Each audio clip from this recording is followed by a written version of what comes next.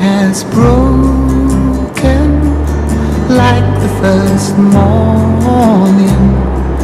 Blackbird has spoken like the first bird. Praise for the singing,